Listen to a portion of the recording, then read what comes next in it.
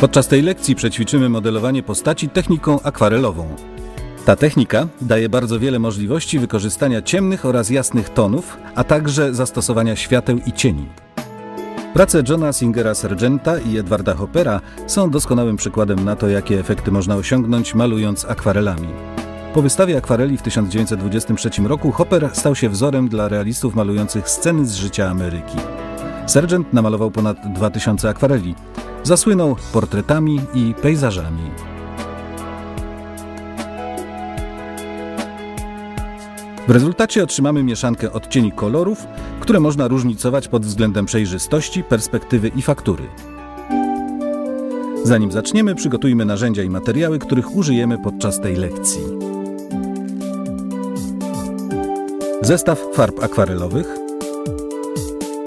pędzle, naczynia z wodą, papier akwarelowy, ołówek do szkicowania. Oto potrzebne narzędzia i materiały.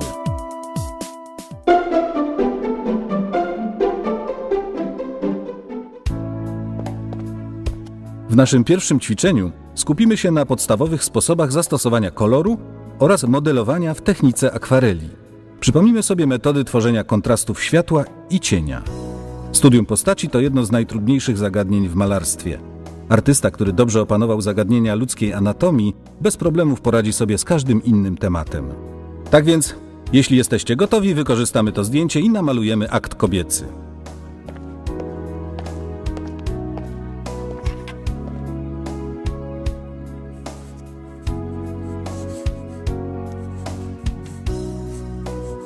Zaczynamy od szkicu na papierze.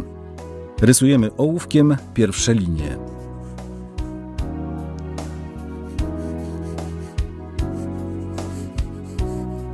Uważnie przyglądamy się modelce, następnie kreślimy proste formy i zaczynamy budowanie bryły postaci.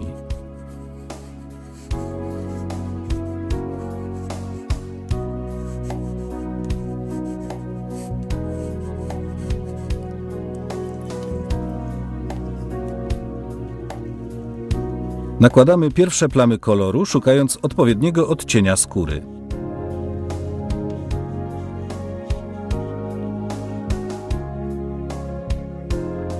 Ostrożnie omijamy najjaśniejsze miejsca na skórze.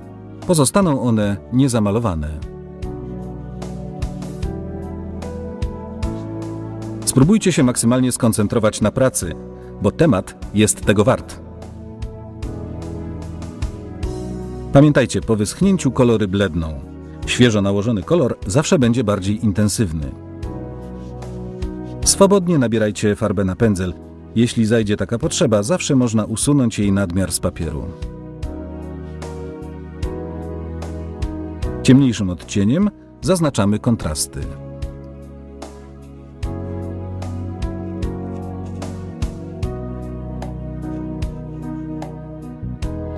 Kiedy nauczymy się malować figurę ludzką, każdy inny temat wyda się łatwy. To jest naprawdę skomplikowane zagadnienie.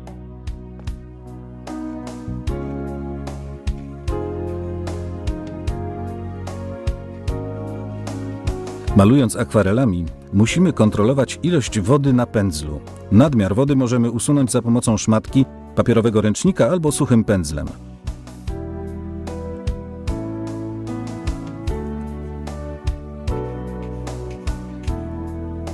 Łagodnie zawijające się krawędzie malujemy nieco bardziej rozwodnioną farbą, tworząc subtelne przejścia tonalne. Stopniowo nakładamy pędzlem kolejne warstwy koloru, pozostawiając niezamalowane fragmenty.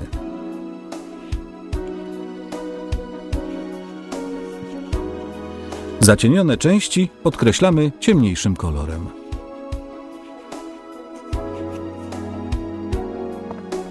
Zauważcie, że w rysunku postaci relacja pomiędzy poszczególnymi planami zależy od tego, w jaki sposób pada na nie światło. Za pomocą cieni i przejść tonalnych tworzymy złudzenie trzech wymiarów. Pierwsze plamy koloru pozwalają w sposób ogólny rozplanować rysunek. Malujemy włosy. Ciemnym kolorem malujemy cienie, podkreślając tym samym najjaśniejsze fragmenty.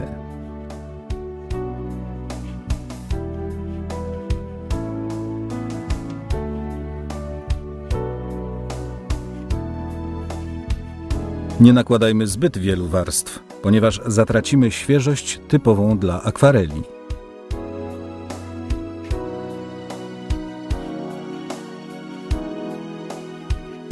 Dodając stopniowo kolejne odcienie, zaznaczamy kontrast pomiędzy poszczególnymi częściami ciała postaci.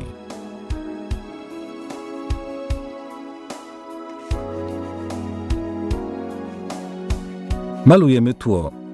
Swobodnymi pociągnięciami pędzla nakładamy jasną mieszankę o zielonkawym odcieniu.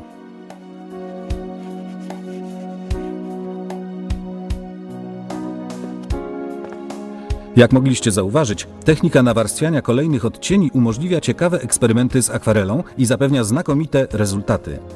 Zachęcam do samodzielnego ćwiczenia. Śmiało!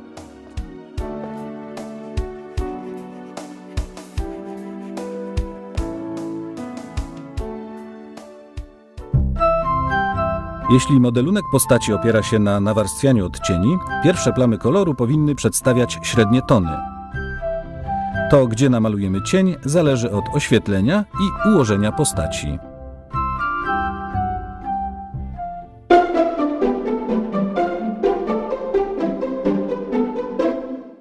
Jeśli szkicując postać przedstawimy ją za pomocą prostego schematu, łatwiej będzie później nakreślić ostateczne kształty. Rysunek postaci ma trzy etapy. Szkic geometryczny, nakreślenie pełnych form oraz połączenie kolorów i świateł. W kolejnym zadaniu dotyczącym malowania akwarelami zajmiemy się postacią półleżącej kobiety. Zaczniemy od nakreślenia ołówkiem prostych form geometrycznych. Zobaczymy jak wyjdzie. Rysując powinniśmy częściej patrzeć na modelkę niż na papier. Wiele osób spędza zbyt dużo czasu wpatrując się w kartkę i zapomina o temacie. Zaczynamy szkic od nakreślenia prostych form geometrycznych. Plecy wpisujemy w trapez.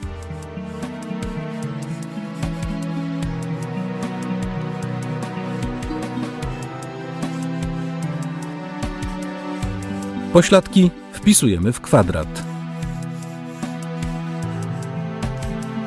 Nogi powinny zmieścić się w trójkącie prostokątnym. Zaznaczamy w ten sposób skrót perspektywiczny.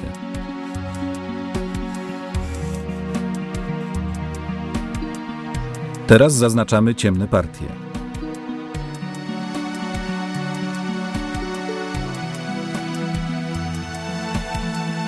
Sieną paloną malujemy cienie na plecach. Tym samym kolorem namalujemy pośladki i nogi.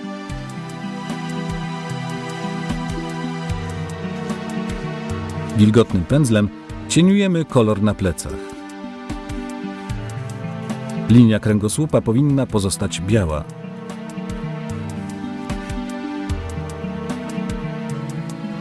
W ten sam sposób zaznaczamy cienie na nogach. Ważne jest, aby zaznaczyć krągłość pośladków i podkreślić cień na biodrze za pomocą wygiętej linii. Wzmocnimy teraz odcień sieny na boku, aby złudzenie trzech wymiarów było jeszcze wyraźniejsze.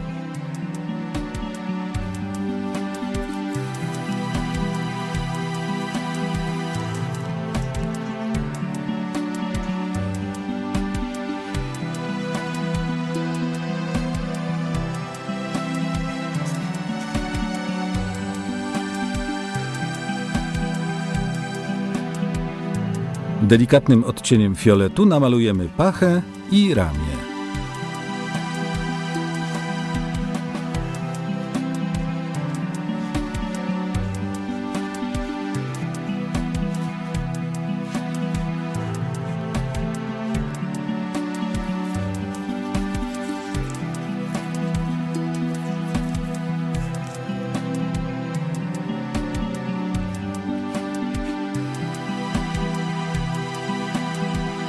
Kiedy kolory już wyschną, nakładamy mocno rozwodnioną warstwę umbry palonej w dolnej partii pleców.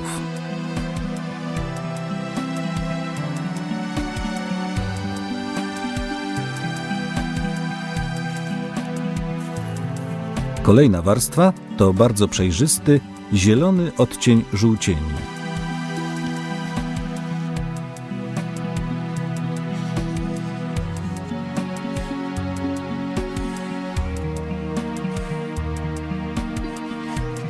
Kiedy podłoże wyschnie, krótkimi pociągnięciami pędzla malujemy cień w zagięciu ramienia.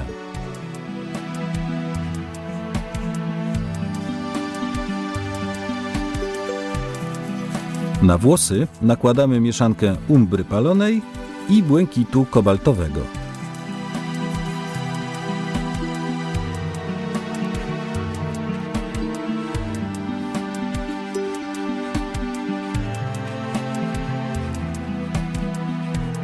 Pamiętajcie, że po wyschnięciu kolor akwareli się zmienia. Kiedy farba jest mokra, wydaje się dużo ciemniejsza.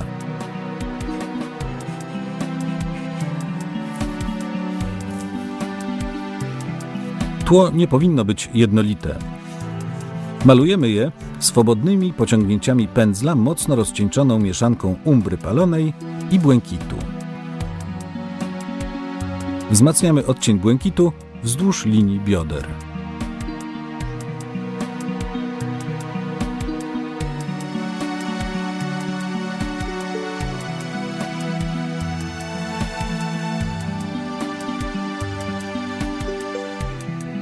Cień na dłoni malujemy kolorem podobnym do odcienia użytego na włosach.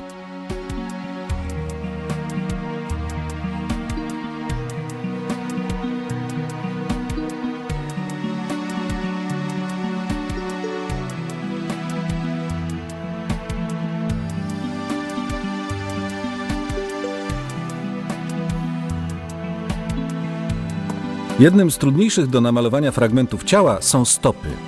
Teraz modelujemy cień na nogach i uwypuklamy rozświetlone partie ciała. Drobnymi plamkami malujemy podeszwy stóp. Omijamy jasne partie na palcach, dzięki czemu tworzy się kontrast. W ten sam sposób malujemy ramiona. Pamiętajmy o trzech pierwszych etapach: o szkicu, o nakreśleniu właściwych form oraz połączeniu koloru i światła. Nie możemy pominąć żadnego z nich.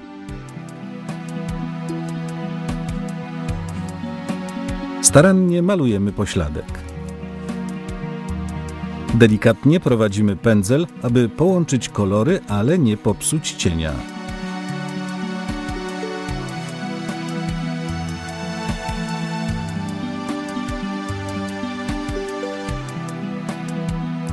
Odcieniem czerwieni malujemy fałdy materiału, na którym leży modelka.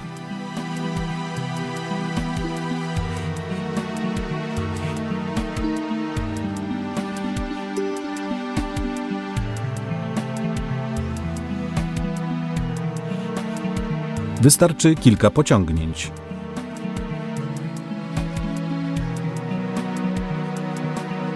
Na zakończenie wyrównujemy odcienie i tony.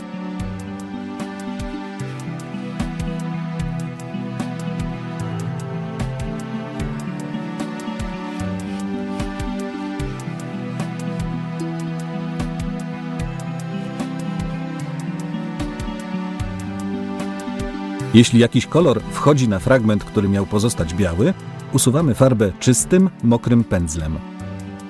Ale jeśli kontury jasnej plamy mają być dokładne, poczekajmy aż farba wyschnie.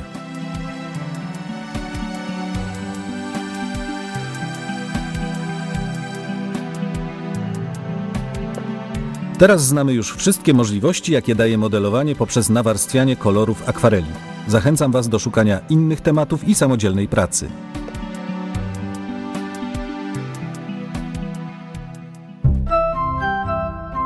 Na zakończenie pracy dobrze jest nałożyć przejrzystą warstwę, która ujednoliciłaby wszystkie kolory. Jest wiele sposobów, aby najlepiej wykorzystać wodę, w której płukaliśmy pędzle. Są w niej rozpuszczone wszystkie kolory, których użyliśmy podczas pracy. Dzięki temu całość będzie spójna. Podsumujmy te lekcje i powtórzmy najważniejsze informacje o światłocieniu w technice akwareli. Tematem jest dziś postać ludzka. Zwróćcie szczególną uwagę na to podsumowanie, bo zagadnienia związane z przedstawieniem ludzkiej anatomii są bardzo ważne w każdym aspekcie malarstwa.